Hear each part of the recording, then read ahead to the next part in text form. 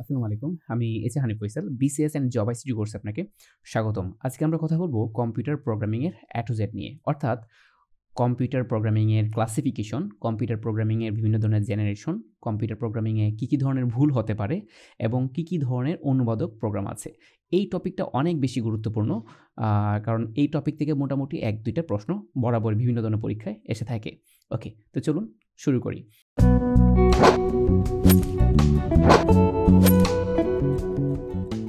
Computer program আসলে কিছু না, কম্পিউটার প্রোগ্রাম হলো কম্পিউটার নিজস্ব ভাষায় জাস্ট তাকে কয়েকটা ইনস্ট্রাকশন দেওয়া ওকে তারপর আমি এখানে অনেক কিছু লিখে রেখেছি। যেমন আমাদের ইংলিশ গ্রামার লেখার জন্য বা বাংলা গ্রামার লেখার জন্য কতগুলো সিনটেক্স থাকে সিমিলার টাইপ ইংরেজিতে কম্পিউটারকে নিয়ন্ত্রণ করার জন্য তার কতগুলো নিয়ম থাকে, ওই নিয়মে কোনো একটা সমস্যা সমাধানের নির্দেশনাকেই প্রোগ্রাম বলে ওকে এখন বিষয় হলো প্রোগ্রামের বিভিন্ন ধাপ। তো প্রোগ্রামের ধাপ বলতে আসলে কী বোঝাচ্ছে? অর্থাৎ আপনি যদি একটি সমস্যা সুন্দরভাবে সলভ করতে চান, তাহলে আপনাকে কী কী নিয়ম ফলো করতে হবে? তা হলো, প্রথম কাজ হচ্ছে আপনার সমস্যাটা নির্দিষ্ট করতে হবে। অর্থাৎ আপনি কি করতে চাচ্ছেন বা কী সমস্যাটা আপনার সেটা ধরতে হবে। অর্থাৎ ধরুন যে ঘরের মধ্যে যদি আমরা চিন্তা করি, ধরুন আপনি ডিম সিদ্ধ করবেন বা ডিম ভাজি করবেন, তো ডিম ভাজার জন্য আপনার কী কী লাগতে পারে? আপনার সমস্যা হলো আপনার ডিম ভাজতে হবে, কারণ আপনার খেতে হবে। সেকেন্ড হলো যে এই ডিম যদি ভাজতে চান, তাহলে কী লাগবে? অবশ্যই বিদ্যুৎ লাগবে বা সাম, তাপ লাগবে। দেন কথা হলো যে আপনার ডিম লাগবে তার তেল লাগবে, তারপর আর যা যা লাগে আর কি এটা হলো বিশ্লেষণ। Then program design program design হলো এই যে আপনার ডিম ভাজানোর কথা বলতেছিলাম। সো এই ডিমটা যে আপনি ভাজবেন প্রথম কাজ কি? আপনি প্রথমে ডিমটা কড়াইয়ে দিয়ে তারপর ডিমটা দিবেন, নাকি কোন কাজটা আগে করবেন, কোনটা পরে করবেন, নাকি আপনি প্রথমে আপনি এটাকে হিট দিবেন, তারপর ডিম দিবেন?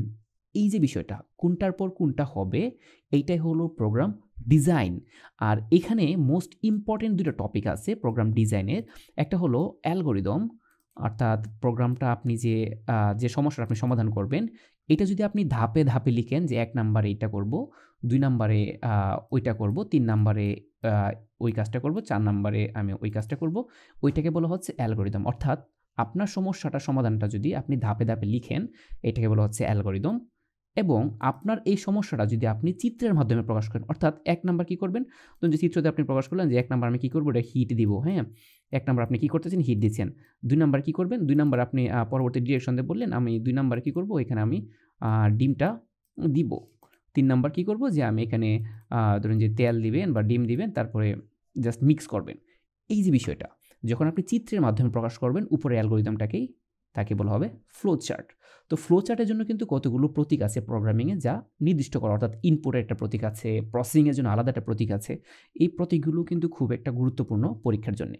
তো প্রোগ্রাম উন্নয়ন কি? প্রোগ্রাম উন্নয়ন হলো যে আপনি যখন এই রান্নাবান্না আপনি তো লিস্ট করলেন, কোনটা আগে করবেন, কোনটা পরে করবেন। দেন যখন আপনার কাজ শুরু হয়ে যাবে this is the program development R programming জগতে যখন আপনি কোনো একটা নির্দিষ্ট ভাষা ব্যবহার করে কোডটা লিখবেন বা কোডিং করবেন, ওইটাই হলো প্রোগ্রাম উন্নয়ন বা ডেভেলপমেন্ট দেন প্রোগ্রাম বাস্তবায়ন। বাস্তবায়ন বলতে কি?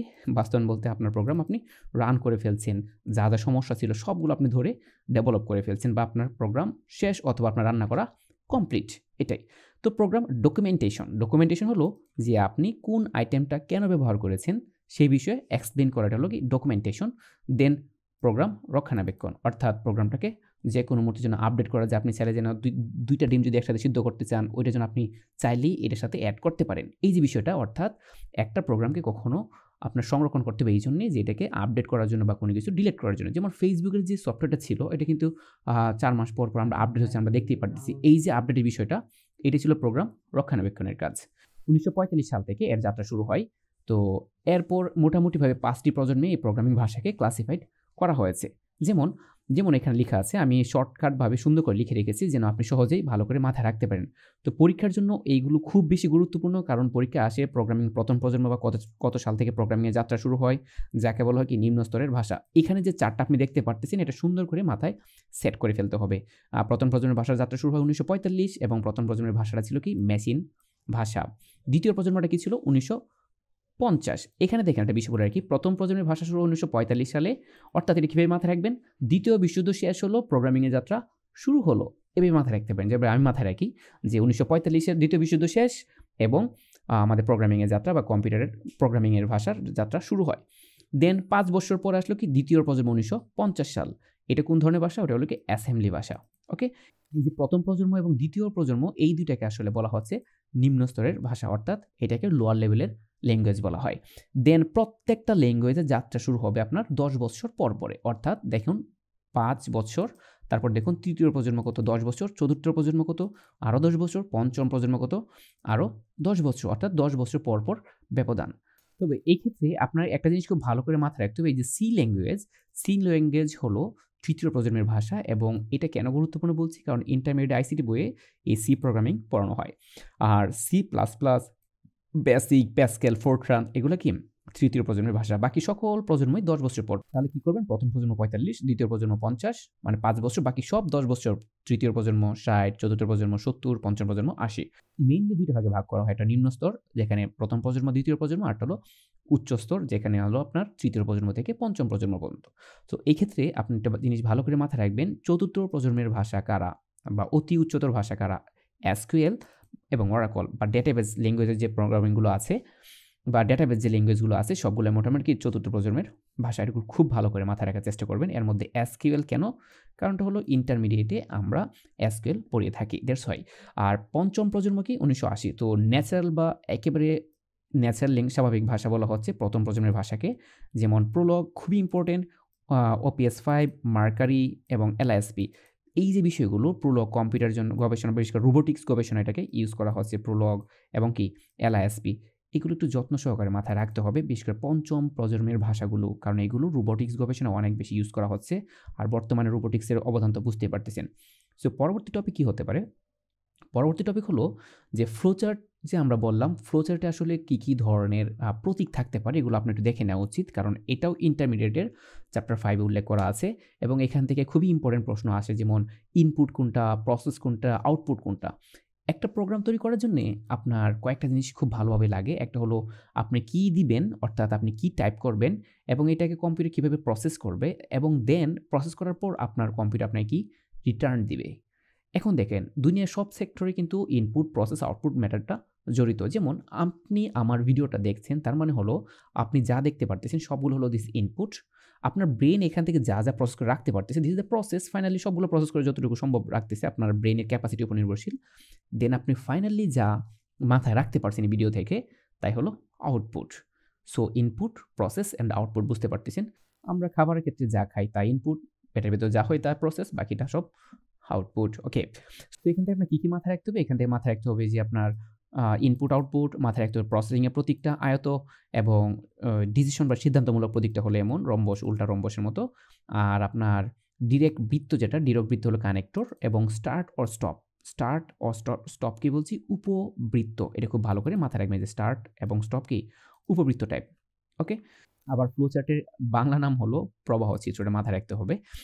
আর এখানে অ্যালগোরিদমের সংজ্ঞাটা কী হতে পারে? মনে রাখবেন, অ্যালগোরিদম হলো কোনো সমস্যা সমাধানের উদ্দেশ্যে ধাপে ধাপে লিপিবদ্ধ করাকে বলা হয় অ্যালগোরিদম। যেমন দেখেন, এখানে দুইটি সংখ্যার যোগফলের জন্য আমি একটা অ্যালগোরিদম লিখেছি, আমি এটা ফ্লোচার্ট লিখেছি এবং এটার প্রোগ্রাম লিখেছি, সি প্রোগ্রাম লিখেছি এখানে এক্স্যাক্টলি সো দেখুন, এই যে ধাপে ধাপে লিখলাম step one step two step five এটা হলো অ্যালগোরিদম।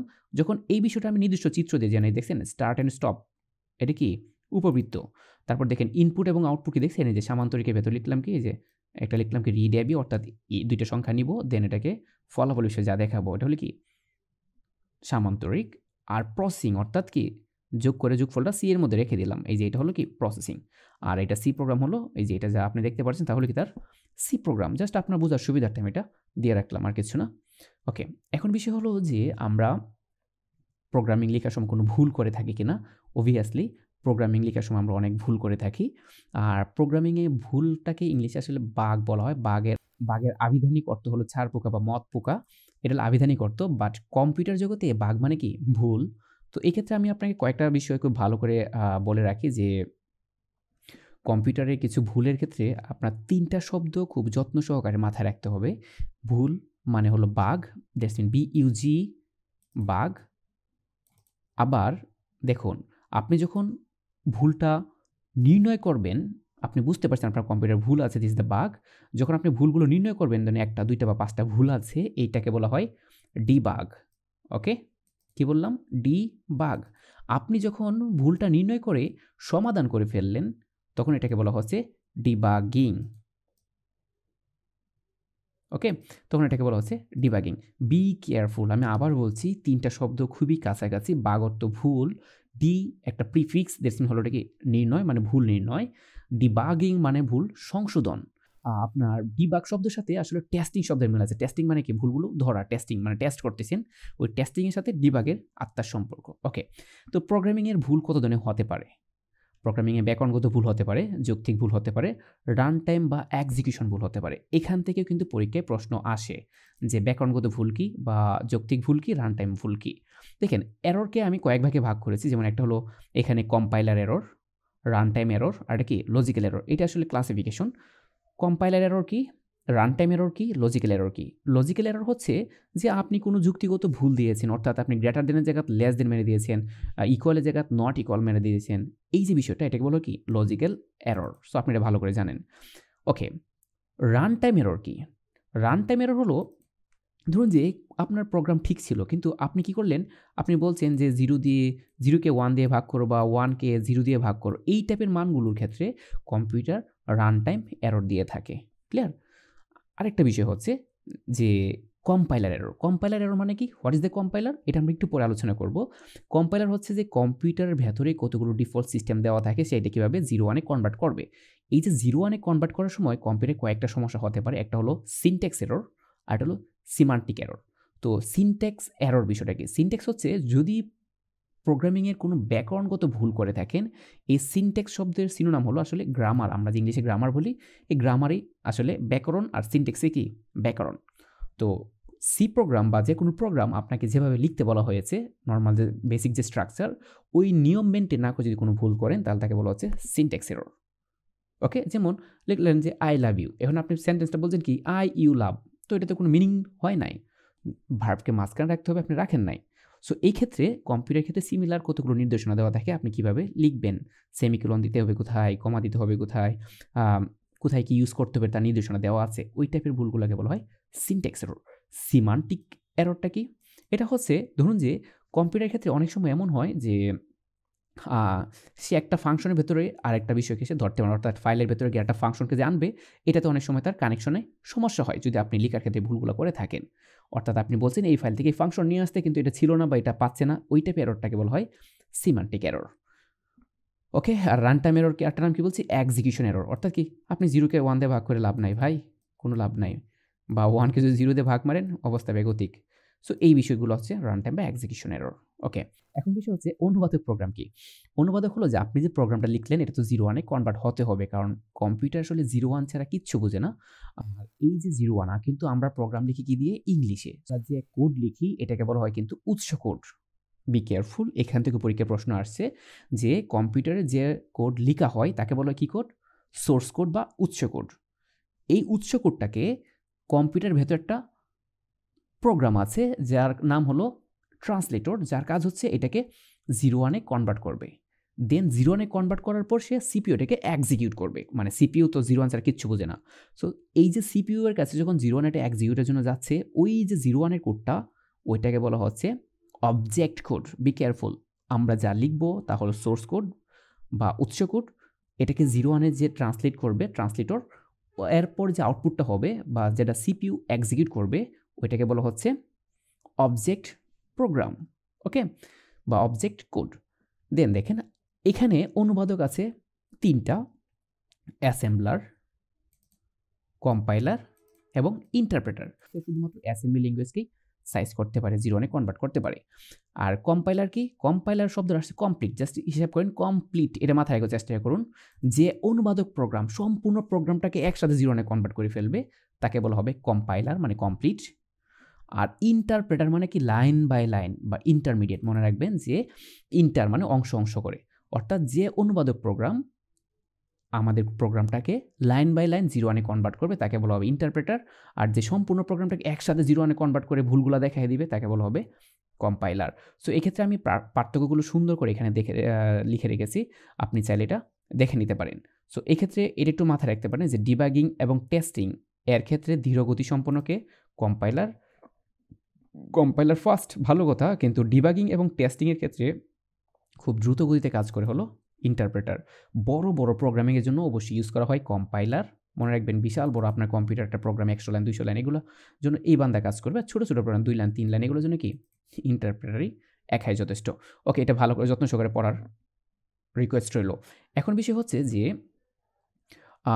কম্পিউটারে কত টাইপের প্রোগ্রামিং ল্যাঙ্গুয়েজ আছে? আপনাকে তো ল্যাঙ্গুয়েজ নিয়ে কিন্তু আমি কথা বলি না ল্যাঙ্গুয়েজের ক্লাসিফিকেশন নিয়ে। খুবই যত্ন সহকারে পড়তে হবে, কারণ বরাবর এই টপিক থেকে প্রশ্ন আসে। So MySQL database language তারপর MariaDB Microsoft SQL server মাইক্রোসফটের তারপর Oracle DBMS PostgreSQL তারপর MongoDB Redis SQLite এবং আইবিএম ডিবি টু বা ডিবি টু বা ডেটাবেস টু আর কি সো এই যে বিষয়গুলো বিশেষ করে ডেটাবেস ল্যাঙ্গুয়েজটা অনেক অনেক বেশি গুরুত্বপূর্ণ এবং অবজেক্ট ওরিয়েন্টেড অনেক বেশি গুরুত্বপূর্ণ এবং কি? প্রসিডিউরাল প্রোগ্রামিং ল্যাঙ্গুয়েজও গুরুত্বপূর্ণ। আমি শিওর বলতে পারি আপনাকে, এই টপিকটা একটু যত্ন সহকারে পড়বেন, এখান থেকে আপনি এক নাম্বার পাবেন ইনশাল্লাহ ওকে তো এখান থেকে গুরুত্বপূর্ণ কয়েকটা প্রশ্ন আপনাকে দিয়ে রাখি। এক হলো প্রোগ্রামের ভুল বা এরর কত প্রকার? তিন প্রকার হয়ে থাকে। আর সি ভাষার জনককে এটা খুবই ইম্পর্টেন্ট কারণ এটা ইন্টারমিডিয়েট চ্যাপ্টার ফাইভে আলোচ্য বিষয়। ডেনিস রিচি তারপর সি প্লাস প্লাস ভাষার জনককে এটাও অনেক ইম্পর্টেন্ট জন স্ট্রাউস্ট্রোপ, তো মনে রাখবেন সি এর আপডেট ভার্সনটা আসলে সি প্লাস প্লাস তারপর পাইথন ভাষার জনককে এটা অনেক ইম্পর্টেন্ট পাইথন ভাষা কবে আবিষ্কার হয়? উনিশশো একানব্বই সালে। গুইডু ভন রুসাম পাইথন আবিষ্কার করেন। খুবই ইম্পর্টেন্ট কারণ পাইথন ল্যাঙ্গুয়েজ বর্তমানে সব কিছুই করা যাচ্ছে। আর জাভা প্রোগ্রামিং ভাষার জনককে জেমস গসলিং এটা অনেক গুরুত্বপূর্ণ। ডেটাবেজের ভিত্তি কোনটি? তো ডেটাবেজের জন্য মাইএসকিউএল ডিবিএমএস একটু ভালো করে মাথায় রাখতে হবে, মাথায় রাখতে হবে যে ডিবিএমএস ল্যাঙ্গুয়েজগুলো কোনগুলো? ডেটাবেজের ভিত্তি হচ্ছে ফিল্ড সো আশা করি আপনি টপিকটি এনজয় করেছেন। সো দেখা হচ্ছে নেক্সট কোনো ভিডিওতে সেই পর্যন্ত ভালো থাকুন, সুস্থ থাকুন। আল্লাহ হাফেজ।